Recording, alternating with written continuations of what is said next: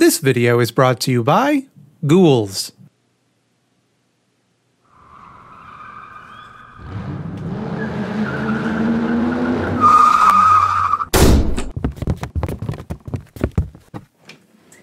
Purple M&Ms, the, the M&Ms are trans. The M&Ms are trans. They're making them. They're making the candies transgender. It's Happy Halloween. It's the Halloween episode because it's about candy. That's the, that's the, there. I justified it.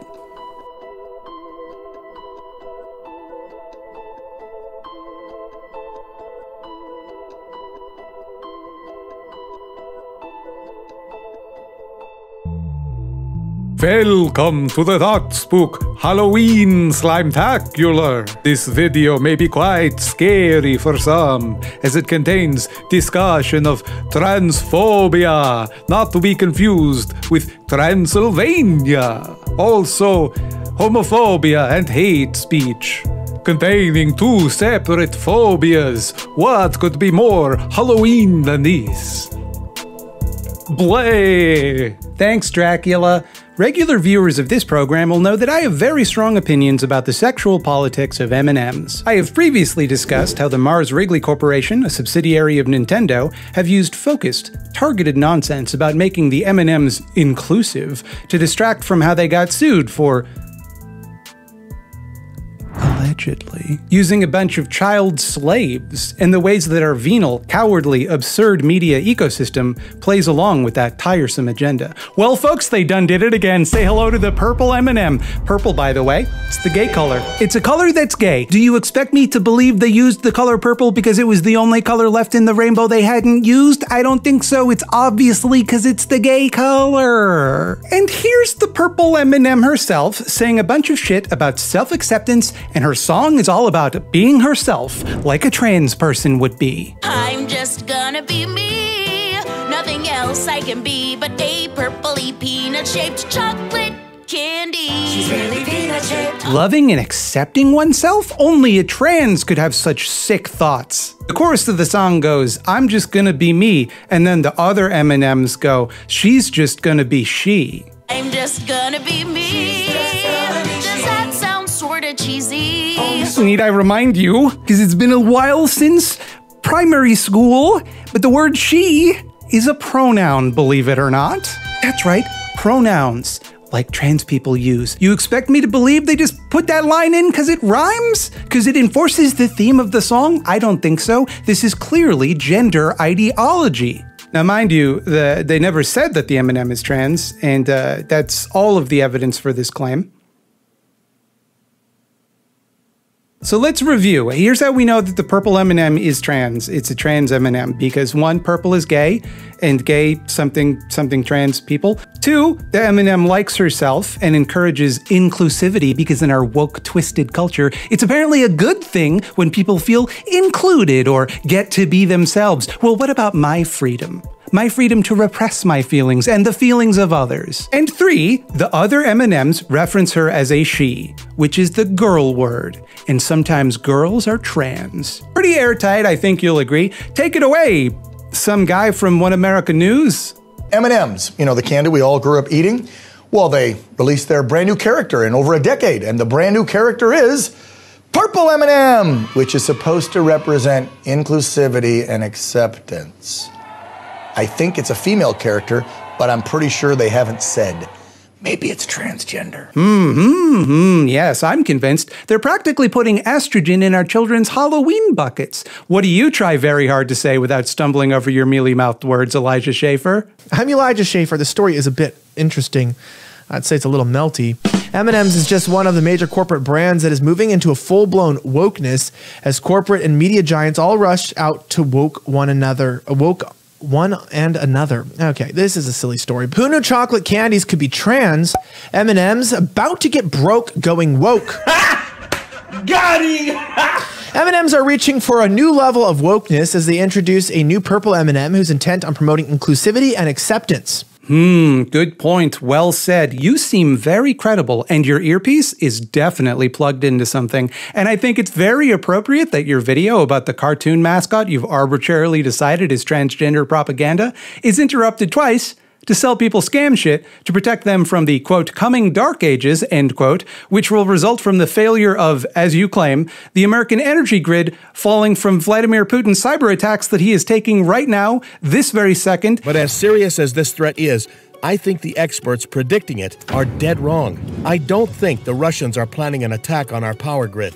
I think the attack has already begun, and I have undeniable proof the trap is set. if you don't act now, it's going to be too late. But for some reason, even though the, the, the whole grid is in imminent danger of collapse, the goods that you are going to sell me on the internet will still arrive somehow.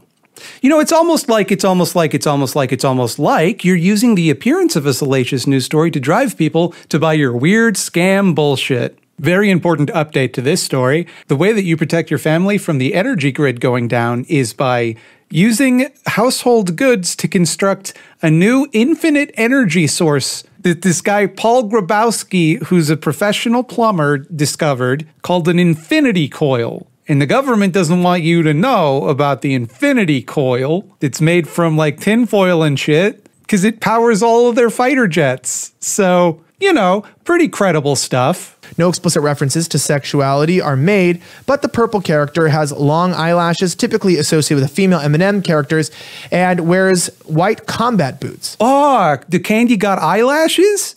Girls have eyelashes. Boys don't have eyelashes. The light seals the deal for me. Yeah, girls, as we all know, are the sex gender, and anything feminine is inherently sexual, in contrast to masculinity, which is, of course, normal. And she's wearing combat boots? Clearly intending to defy gender expectations. I mean, have you ever seen a woman wearing Doc Martens? I don't think so. They're just encouraging their impressionable audience to wear the transgender shoes. Side note, both Schaffer and the Daily Wire articles, which he's getting most of his quote unquote information from, the Daily Wire, of course, did some serious big boy journalism about the candy genders. They both complained that you can't even get the purple M&M in regular M&M bags, and Schaffer speculates that this will make the fans outraged. Although this corporate virtue signaling is meant to create unity, some fear that it will cause outrage. Jane Hwang, global vice president of M&M, said the new character will appear in stores and the M&M's website and on some limited edition packaging, and customers will be able to buy purple M&Ms online, an option that was already available. But when it comes to regular bag of peanut M&Ms, purple fans are out of luck. That could be a new source of outrage. And I don't think it will, because all every color of M&M tastes the same. It's the same thing, but with different food colorings. How unlike the right to care so very much about color. If you're a fan of M&Ms, if you're in the M&M fandom, you know that you can you can get the purple M&Ms from the website if that's important to you for some reason. At this point in the video, I would just like to mention that I am going to die someday. So then, why am I spending valuable minutes of my finite lifespan on what is probably the most absolutely brain dead manufactured controversy I've ever seen attempted by the griftosphere? This really didn't even provoke that much backlash. They kind of just threw this one out there to see if it stuck, you know, because they just do a million things. Every step ladders are trans now. And of course it didn't. So, you know, why even why even bring it up? And aside from the fact that it's like really fucking funny to me, th- yeah, that's a fair question. Because I've been thinking a lot lately about the approach I use on this channel. It certainly feels good to mock people we disagree with, but I don't know if it's helpful.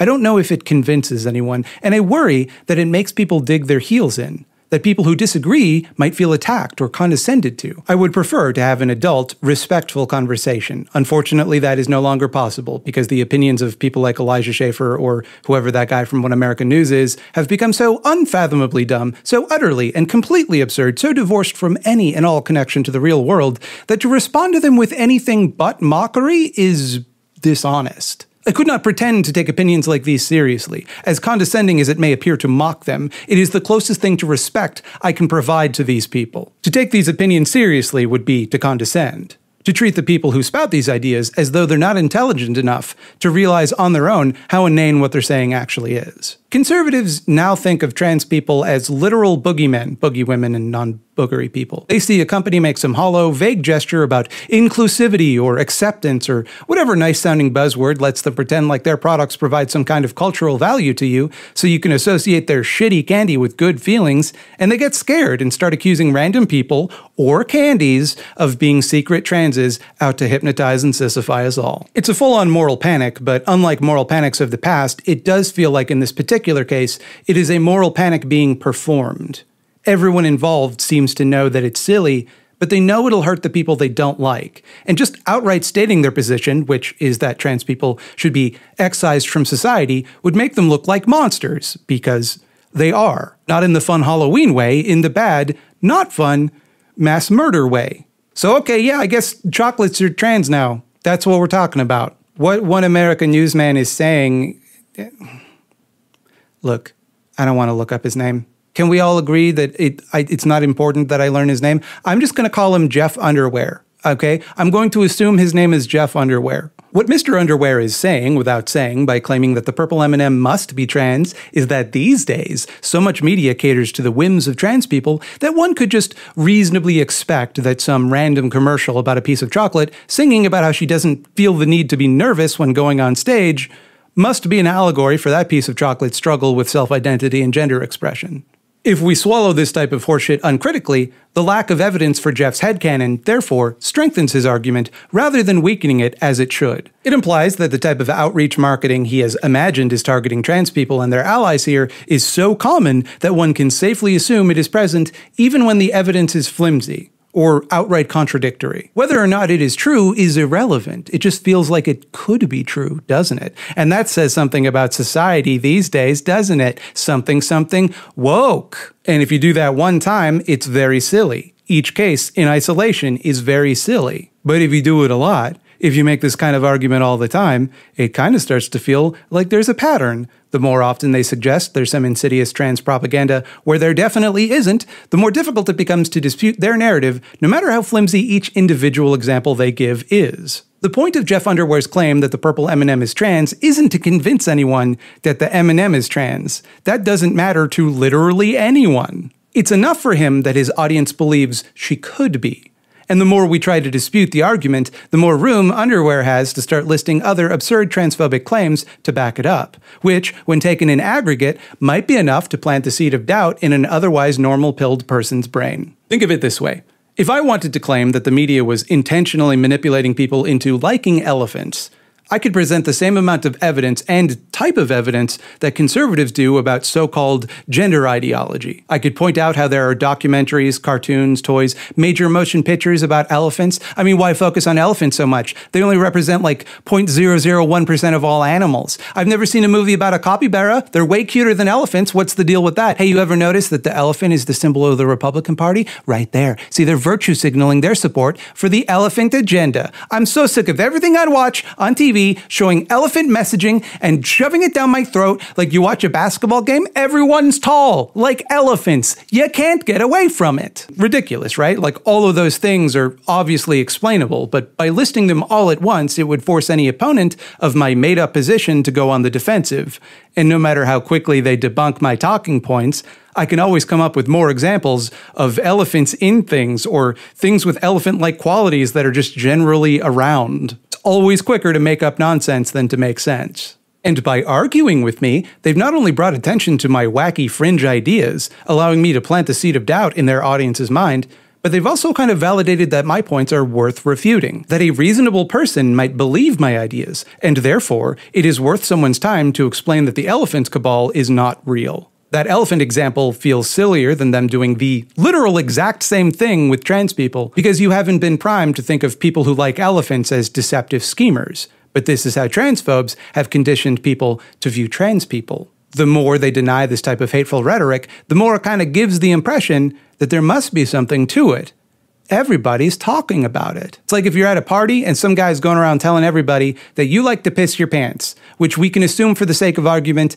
that you do not. If you start every conversation with somebody by telling them, hey, by the way, just so you know, don't believe the rumors that I like to piss my pants, I don't like to piss my pants, no matter how spurious that rumor may be, no matter what kind of evidence you might present that you do not, in fact, like to piss your pants, it's going to make people start to think maybe you piss your pants a little bit because you, you sure talk about it a lot. And now you're not allowed to go to the punch bowl because everybody thinks you're just trying to fill your bladder so you can intentionally piss your pants. And I guess in this analogy, the punch bowl represents gender affirming healthcare, which is a pretty insensitive comparison to make. But the point I'm trying to make here is that I don't like to piss my pants. Stop telling people I like to piss my pants, Kevin. So, like, why would I respond to this with anything but mockery? What, what do I have to gain? All I can do is make their position look serious by taking it seriously. At the same time, I think you can't just mock them. You have to point out what they're actually saying. Everyone focuses on the silly part, the trans M&M, and they ignore the bigoted assumptions that are established to lead to that silly conclusion. Notice how Elijah Schaffer frames this point. It isn't that Mars Wrigley, a subsidiary of Sega, decided to do this. They were forced to, compelled, against their will, to obey the dictates of some erstwhile tyrants. That means to spend the send the signal that we're only doing this to appease the liberal 1% so they don't cancel the candy online and yet keep the purple from the stores where people uh, would avoid buying the woke candy. Good move, Mars Candy. Why, it's the woke mob, you see.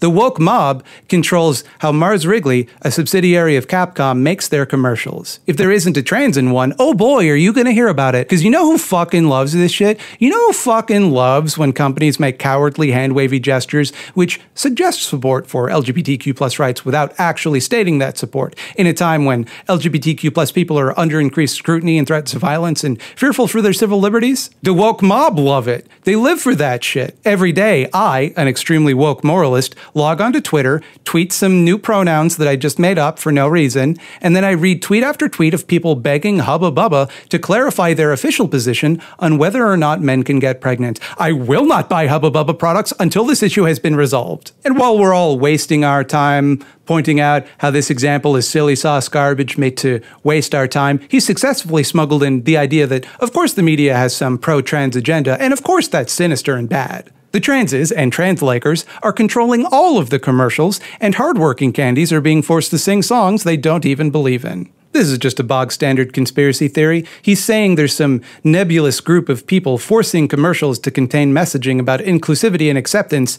and thus, through some truly wild leaps in logic, normalizing trans people somehow.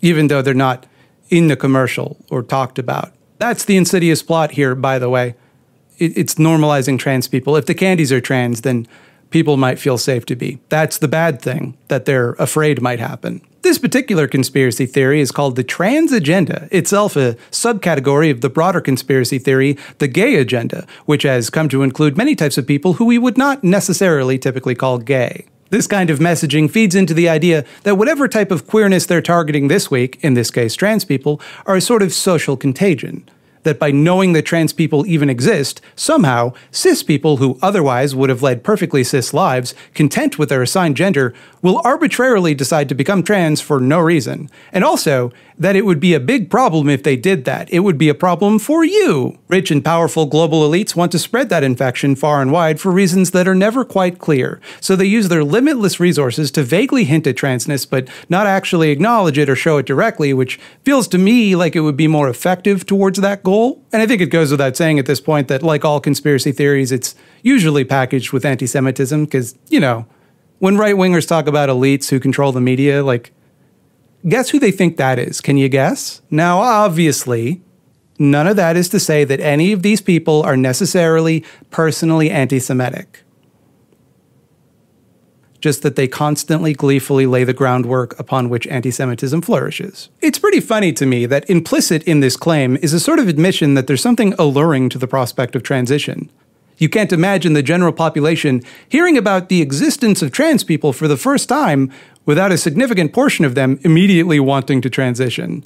It's just inherently compelling to want to change your assigned gender. So we can't let people know it's an option or they're going to want to do it. But also, even though people just naturally will be compelled to do it, it's still somehow unnatural and nobody would ever think of it on their own. When they're feeling particularly shitheaded, and they usually are, they'll make the argument that in addition to being this sort of social contagion, that the existence of trans people, or whatever type of queer people they're targeting, will somehow be used to coerce people into sex. Every aspect of gender nonconformity, no matter how chaste, is portrayed as inherently sexual. Asking to be called by a different pronoun? That's a sex act. Wearing a dress if you were assigned male at birth? You just had sex with every single person who saw you in that dress. Asking people not to treat you as a sex object? Oh, I'm sorry. I thought you wanted to be a woman. The sex gender. All of those assumptions, all of those preconceived ideas are just smuggled into the conversation and then hidden behind the extremely silly concept of the secret trans M&M. Sorry, libs, you might deny the M&M is trans, but you got to admit, it seems like the type of thing the woke mob would make them do. Which brings us, unfortunately, to the alleged comedic stylings of the Babylon Bee. The Bee, which is like the onion if it was conservative instead of funny, eerily predicted this scandal because, of course, they did. These dipshits were always ready to manufacture this scandal. Their fictional trans M&M is even purple, the gay color. As part of a bold new marketing strategy to promote inclusivity and appeal to less than 1% of the population, Mars Incorporated has introduced a new M&M character who identifies as a Skittle. Wow, okay. Yeah, all right. So, inclusivity by definition includes people. That's what the word means. So if you wanted to do that, you would in fact have to include small minority groups. And 1% of the population of the United States, by the way, is 3.29 million people, and that would be a pretty significant market share, I would say. But of course, affirming trans people wouldn't simply market to trans people, it would also be outreach marketing for the people who support trans rights, which is most people, you fucking goons. I'm going to be honest here. We basically are just doing this because it's hip and makes us look cool, says Mars Incorporated CEO Franklin Crunchy. And that adds to the bottom line. I think we can make a decent fortune by comparing the hardships of real trans people to a wacky cartoon character. Fucking got 'em. Got 'em. The advertisement is just trying to make their product look good so you'll buy it. Nice try, libs. Hey, uh, Babylon Bee, If you're looking for a genuine work of art that captures the nuances of the trans experience, you probably wouldn't start by looking at M&M commercials. Notice also how the bee is covering their ass here, like the cowards they are. They're throwing in some language about how the thing they're mad at here is the appropriation of trans struggles to sell products, which I know is not what they're mad about, because it didn't happen. They made that up as a joke, as though they're not the ones demeaning trans people. It's the hypothetical marketing campaign they imagined would happen that demeans trans people. That's they're the ones doing it. And how dare you use the suffering of trans people to sell candy? You should only use the suffering of trans people to make jokes which directly contribute to that suffering. The new character named Quinn is an M&M that wears an S because they haven't had letter reassignment surgery yet. Pause for laughter, pause for laughter. On the inside, Quinn has the same chocolate taste because it isn't able to change anything but its outward appearance. Now imagine Quinn, the Skittle who has a human name for some reason, even though none of the other characters in the M&M have human names, could take medication that'd make him taste like a Skittle, but he wasn't allowed to get it because a bunch of M&Ms decided that changing into a Skittle is bad somehow even though Skittles are the objectively superior candy, do not at me. The satire here, in case you missed the very subtle joke they're trying to make, is that trans people likewise apparently cannot change anything but their outward appearance, which is not true. They can absolutely change, for example, their endocrine system. Men and women are made of most of the same stuff. There's not a, there's not, if you were to bite into one of us, you wouldn't notice a, a huge difference meat and blood and lungs, I think, is in there. It's mostly the same, is my point. And the parts that aren't can be altered to be. Not one to one necessarily, but there's variability within how closely cis people of the same gender match the typical biological markers of their sex all of which is beside the point because Skittle and M&M are not social categories that come with them a set of mutually exclusive expectations and norms. M&Ms and Skittles are not expected to behave differently. They do not ask to be treated differently. They do not experience distress at being mistaken for one or the other or violent exclusion should they fail to live up to their assigned role. What would it mean for an assigned M&M at birth person to identify as a Skittle? Is the problem here that you'd end up eating an M&M that you thought was a Skittle? Because the candies don't want to get eaten. That's not the candy's fault. In this analogy, are Skittles girls and M&M's boys? Is that the joke? Why are you calling Quinn it? How far into this article did you get before you realized that the joke kind of falls apart if you acknowledge that the candy mascots are all already gendered? As indeed are almost all fictional characters. We just want to let the trans community know that M&M supports you and wants your money, said the Mars CEO. Oh boy, I'm starting to think the only reason they made this M&M commercial is to sell M&Ms. The LGBTQ plus community took to Twitter to ask why there isn't a Latinx M&M. Do better, tweeted user at I Hate Myself. The whole LGBTQ plus community did? All of them? Because I thought for sure some of them wouldn't have internet access. At the very least, some of them wouldn't have Twitter accounts. Boy, it's almost like what you did there was collapse an entire diverse group of people into a stereotype based on how you think they'd react in a fictional scenario. It's almost like, it's almost like, it's almost like your tendency to collapse groups of people into stereotypes is so strong that you can't help but do it without even noticing. Hey, so which is it, by the way?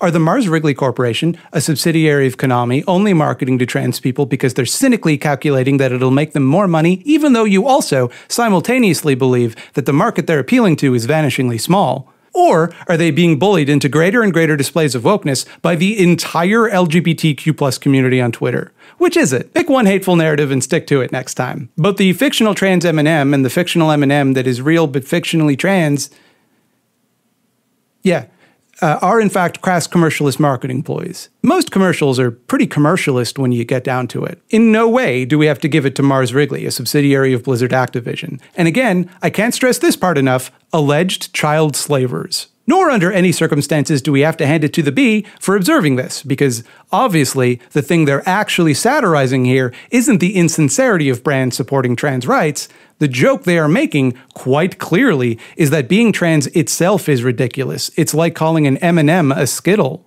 Two things which could in no way be confused for one another. They're two completely different multicolored hard shelled candies sold in the same size bags and made of most of the same constituent ingredients because they're both mostly just sugar. But one's chocolate. Get, well, you going to see a chocolate Skittle next? Whoops, that exact product exists, you lamentable buttholes. The reason the bee is quick to point out that this is a marketing decision instead of genuine support is to play into the same narrative about how, these days, support for trans people is so ubiquitous, you'll see it everywhere. Next, they're going to make the M&Ms trans. Be on the lookout for that one. Watch them. Watch them real close. Be on guard for that. Look, look, everybody. It happened probably. They predicted the future. It just goes to show how predictable the people controlling the narrative are. You can't make this up, folks. Except, yes, you can. You did.